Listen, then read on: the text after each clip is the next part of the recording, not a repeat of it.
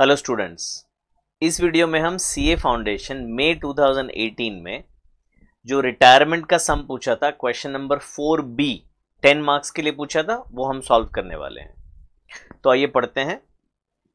A B C are partner sharing profits in the ratio of three two two is two one their balance sheet stood as follows तो हमेशा क्या करने का बच्चों, पहले starting पढ़ लो और फिर एंड पढ़ लो।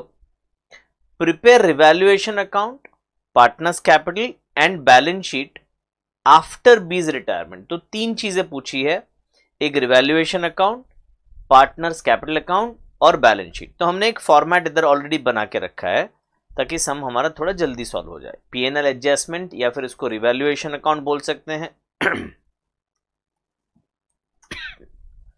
फिर balance sheet of the firm after B's retirement और यहाँ पे हो गया पार्टनर्स का कैपिटल अकाउंट ऊपर। ठीक है? ये हमने फॉर्मेट बना के रेडी रख दिया है। अभी हम क्या कर रहे हैं? तो हमने इधर डॉट्स लगा के रख दिए हैं। एडजस्टमेंट्स पढ़ के, जहाँ जहाँ पे एडजस्टमेंट्स हैं, उधर हमने डॉट लगा के रख दें ऑलमोस्ट सारे आइटम्स पे एडजस्टमेंट्स हैं। तो एक बार नज़र डाल देते हैं। कैपिटल अकाउंट है ए बी सी का, फिर सन्ड्री क्रेडिटर्स हैं जनरल रिज़र्व है। जनरल रिज़र्व होता है पास्ट अक्यूमुलेटेड प्रॉफिट और वो तीनों पार्टनर में बांट दिया जाता है। फिर building furniture office equipment stock है डेटर लेस प्रोविज़न है जॉइंट लाइफ पॉलिसी ये पॉलिसी फर्म ने लिया हुआ है तीनों पार्टनर के लिए। तो पॉलिसी की जो वैल्यू है वो वन लैख सिक्सटी है cash at bank one lakh fifty B retire हो रहे हैं फ़र्स्ट अप्रैल को। ऑफ़िस रिवैल्यू हुआ है, बिल्डिंग रिवैल्यू हुआ है, फर्नीचर, स्टॉक, प्रोविज़न मेंटेन करना है five percent joint life policy balance sheet में अपियर होगी। At surrender value after B's retirement and surrender value is one lakh fifty thousand goodwill को value करने का कुछ इन्फो दिया है, और amount due to B is transfer to loan account यानी बी के जाने के बाद उसको एक फूटी कौड़ी भी नहीं दी है। उसका कैपिटल उन्होंने ट्रांसफ़र कर दिया है लोन अकाउंट में। ठीक है? तो ये क्वेश्चन है। अभी सॉल्व करने की शुरुआत करते हैं। तो पहले कैपिटल अकाउंट को कैपिटल के क्रेडिट साइड पे लिख देते हैं। Eight, four, twenty and four. तो ये आ गया एट लैक्स। फिर फोर लैख ट्वेंटी थाउज़ेंड। और फोर लैक्स। उसके बाद नेक्स्ट आइटम है जनरल रिज़र्व बैलेंस शीट में। नहीं क्रेडिटर्स हैं थ्री लैख सेवेंटी क्रेडिटर्स में कोई भी एडजस्टमेंट नहीं है। तो नई बैलेंस शीट में इसको हम लिख देते हैं। इधर ट्रेड पेएबल्स लिखा है, यानी उसी को सनरी क्रेडिटर्स बोलते हैं तो थ्री लैख सेवेंटी थाउज़ेंड अब जनरल रिज़र्व तो जैसे पहले बताया, ये three lakh sixty thousand past profit है, जिसको हम शेयर करेंगे तीनों पार्टनर्स में। तो three lakh sixty thousand divide by six कर लो आप। थ्री टू और वन है। तीनों को ऐड कर दिया तो छः आ गया। तो सिक्सटी थाउज़ेंड अभी कैल्सी में शॉर्टकट है। Into three one lakh eighty तो ये पार्टनर में क्रेडिट होना चाहिए पार्टनर्स कैपिटल में। तो आ गया इधर जनरल रिज़र्व में वन लैख एटी अब इंटू थ्री कर दिया था, अभी कैल्सी में और कोई बटन मत दबाओ, सिर्फ़ टू दबाओ और इज़ इक्वल टू दबाओ। तो ये बी का शेयर मिल गया which is one lakh twenty और फिर एक दबाओ और इज़ इक्वल टू यानी कि सिक्सटी थाउज़ेंड ये हो गया सी का शेयर तो कांस्टेंट रखने से कैलकुलेशन थोड़ा फास्ट हो गया. तो हमने किया क्या बेटा? जनरल रिज़र्व को तीनों पार्टनर में डिस्ट्रीब्यूट कर दिया. तो अभी बैलेंस शीट की लाइबिलिटी साइड कंप्लीट हो गई. अब हम देखते हैं एसेट साइड बिल्डिंग दस लाख था और अभी बिल्डिंग कितना हो गया? पंद्रह लाख. तो पाँच लाख का फ़ायदा हुआ है. तो इसकी दो इफ़ेक्ट क्या होगी? एक मैं रिवैल्यूएशन में क्रेडिट करूँगा एसेट की वैल्यू बढ़ रही है तो ये फ़ायदे वाली बात है इनकम है तो मैं रिवैल्यूएशन को पाँच लाख से क्रेडिट करूँगा, और न्यू बैलेंस शीट में मैं पंद्रह लाख रुपए बिल्डिंग की वैल्यू लिख लूँगा बाहर के कॉलम में। तो ये दो इफ़ेक्ट हो गया। फर्नीचर टू लैख फोर्टी था, और फर्नीचर चालीस हज़ार से कम करना है। ये तो नुकसान हो गया बेटा। तो रिवैल्यूएशन को डेबिट करेंगे चालीस हज़ार से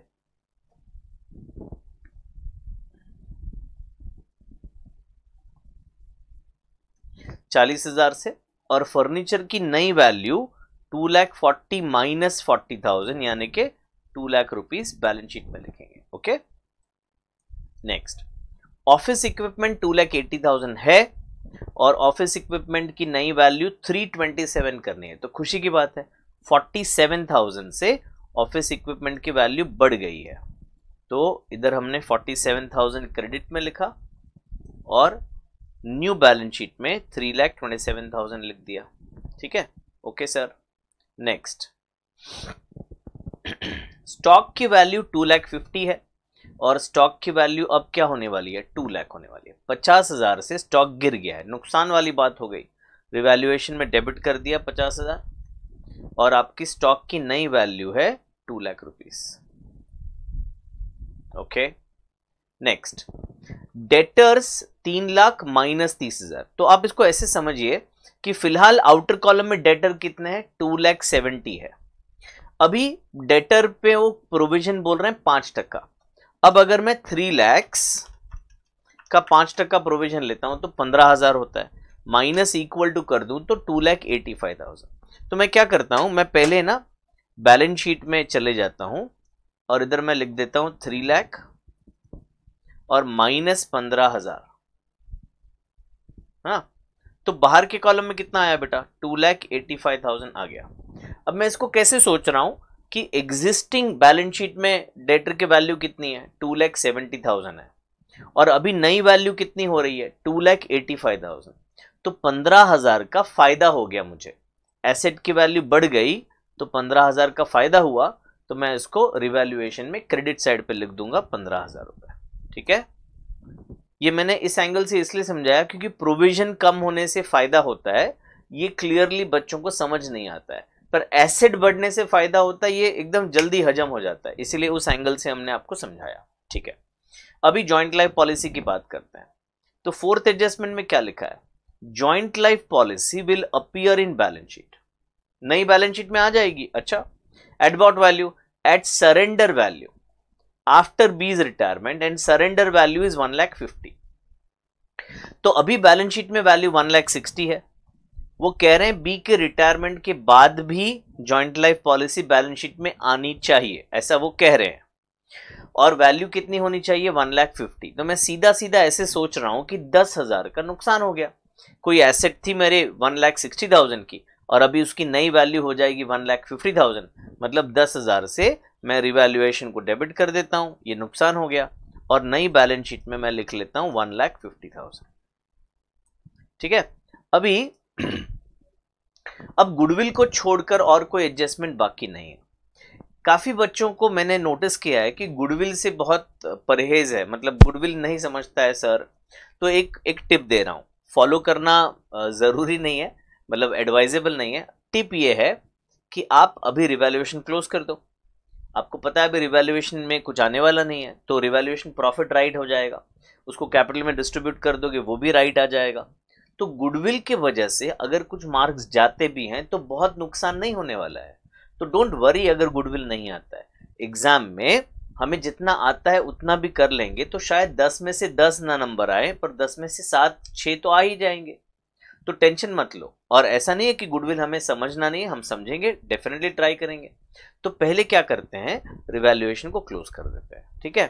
तो रिवैल्यूएशन अकाउंट में क्रेडिट साइड आ जाता है मेरा। मैं थोड़ा एक्सेल यूज़ कर लेता हूँ फटाफट। तो फाइव लैख सिक्सटी टू ये क्रेडिट साइड है। यही टोटल मैं डेबिट साइड पर लिख देता हूँ। और इसमें से ऊपर वाले वैल्यू माइनस कर देता हूँ। तो वो एक लाख है, यानी ये वैल्यू हो गया four lakh sixty two thousand अब ये फोर लैख सिक्सटी टू को मुझे three is to two is to one में डिवाइड करना है। तो four lakh sixty two divide by six seventy seven thousand ये सी वाले भाई साहब का पैसा हुआ। फिर इंटू टू कर दिया तो ये बी का पैसा हुआ। और थ्री कर दिया तो ये सी का पैसा ए का पैसा हो गया two lakh thirty one two thirty one one fifty four and seventy seven तो ये हमारे कैपिटल में क्रेडिट हो जाएगा। Two lakh thirty one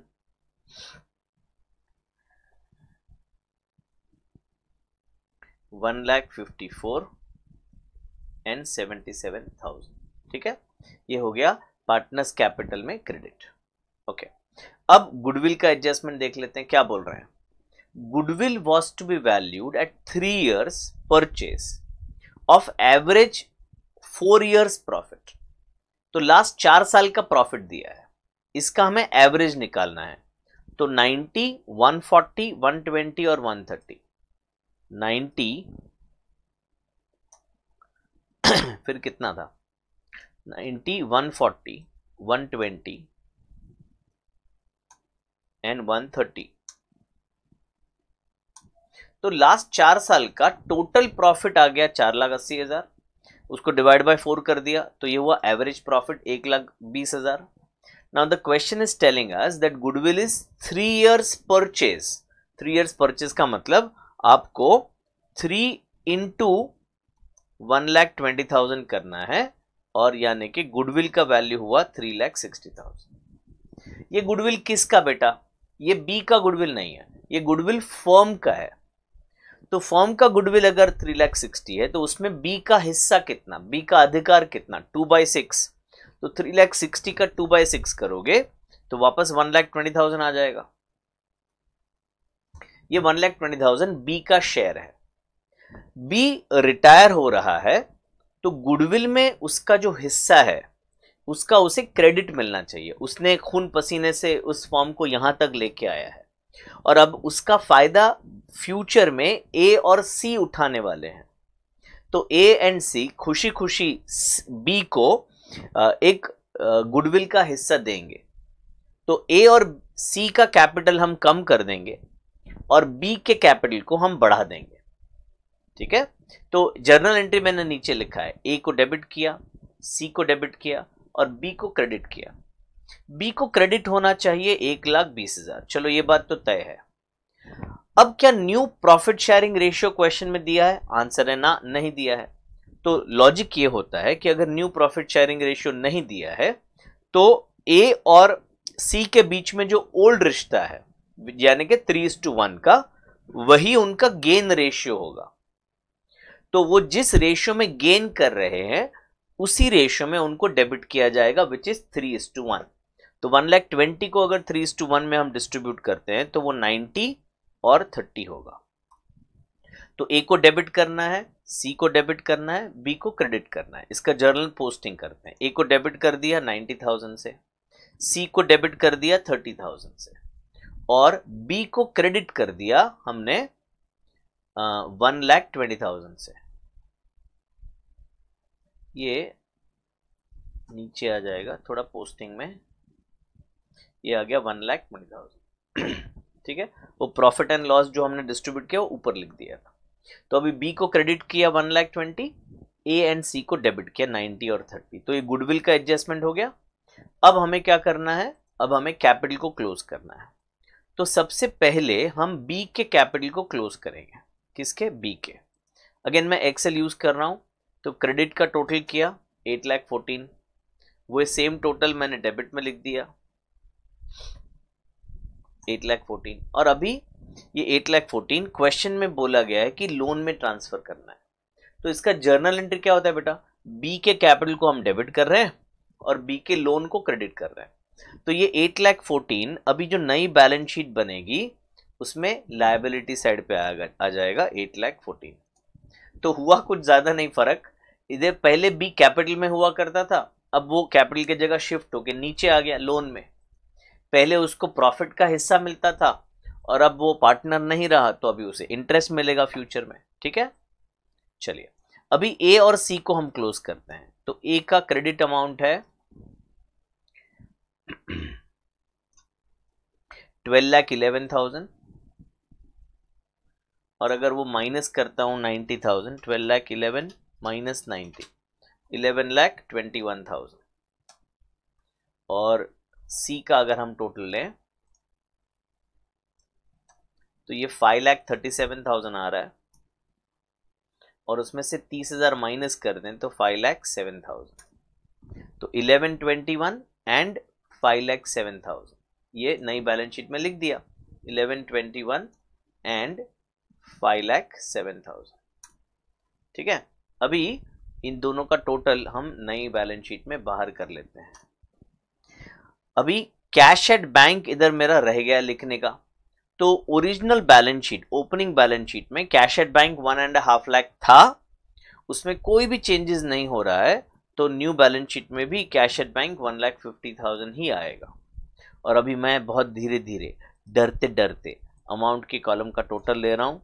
इधर टोटल आया twenty eight lakh twelve thousand और अगर मैं इसी फॉर्मूला को यहाँ कॉपी कर लूँ तो वही फिगर आना चाहिए। क्या बोलते हो? आ जाएगा? Yes twenty eight lakh twelve thousand first shot में हमारा बैलेंस शीट टैली हो गया। आई होप आपको पूरा सोल्यूशन समझ में आया होगा। Thank you so much wish all the best